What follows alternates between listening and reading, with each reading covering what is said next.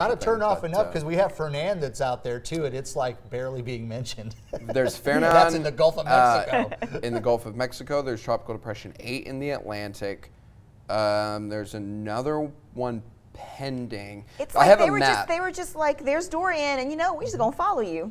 Yeah, like it's September. It's it goes from and it, it, does this every year where you think, oh, it has been so, June was so quiet, July mm -hmm. so quiet, nothing in August, and then boom. And I have a map. Yeah, I have a map I'll show you at the top of the hour here cool. that has everything kind of labeled and you can get an idea of what it looks like. What folks are what are folks going to face when they walk out the door today?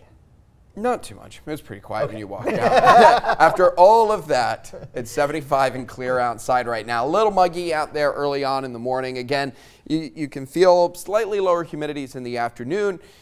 It'll be a small comfort, and we'll talk about all of that. That's going to be coming up here through the next half hour. All right, thanks, Daniel. Right now, Hurricane Dorian is just east of the Florida coast, battering the state with, uh, with uh, battering the state and the Treasure Coast with tropical storm force winds.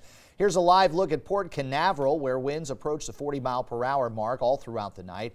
Dorian is a Category 2 storm at this hour with winds at 105 miles per hour. Hurricane warning stretch from Florida to North Carolina as Dorian is expected to barrel its way toward the southeastern Atlantic coast over the next couple of days. Meanwhile, in the Bahamas, recovery efforts are now underway following what the Prime Minister is calling one of the greatest natural cri national crises of the country's history. This is aerial footage from the Abaco Islands, which suffered suffered the brunt of Dorian's fury. At least seven people are dead, with more deaths expected. Bahamians are using jet skis and bulldozers to rescue storm victims while the U.S. Coast Guard and British Navy are getting food and medicine to survivors. Members of those rescue crews putting their own lives on the line to save the lives of those who made it through the storm and to recover the bodies of those who didn't. It came over the roof. I would imagine 21 feet at least. Uh, we were doing all right until the water kept coming up and all the appliances were going around the house like a washing machine. That's probably I got hit with something in there. And my poor little wife got hypothermia and she was standing on top of the kitchen uh, cabinets until they disintegrated. And then I, I, I, I kept with her and, and she just drowned on me. Meanwhile, transportation in the Bahamas is at a standstill thanks to the hurricane. This is video from Grand Bahama International Airport in Freeport. Dorian submerged the airport in six feet of water, shutting down the facility. Roads are impassable because of flooding and debris. From the Storm Team 3 Weather Lab, here's Daniel's True View forecast. And over the coming days, there's there's going to be a lot of chances to donate both time and and supplies, monetary funds, and all of that down to the Bahamas. And I would urge anyone who could uh, to find local organizations who are down there who are going to be giving that back to the people who need all the help. Remember, we get these storms a lot here too, and Hopefully it never happens, but at some point, I imagine that someone in Louisiana is going to be asking for similar help from an international community from one of these storms. So again, if you have the ability to donate, I would highly suggest uh, that you do so. 75 in Lafayette right now, 76 out through New Iberia. You've got the lower 70s in Alexandria with Lake Charles at 77.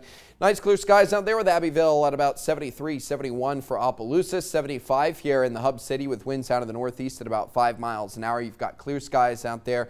Dew point sitting down at about 72.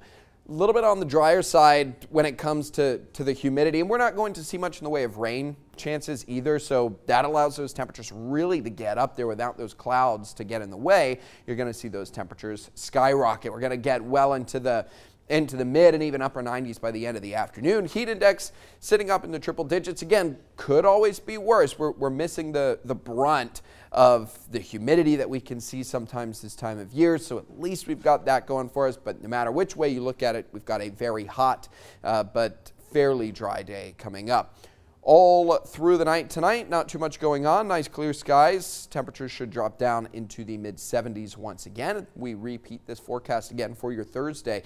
We're quiet all the way through the rest of the work week. It is going to be on the hot side. We've got probably one of the hotter stretches of days that we've had so far this year. Temperatures pretty consistently getting in the upper 90s. I think we could probably see close to 98, 99 degrees by the weekend. A lot of sunshine out there. Again, Make sure that you just drink plenty of water. Try and find AC when you can, and uh, we'll start looking for a cold front and see if we can get these temperatures knocked down at some point in time this month. Guys,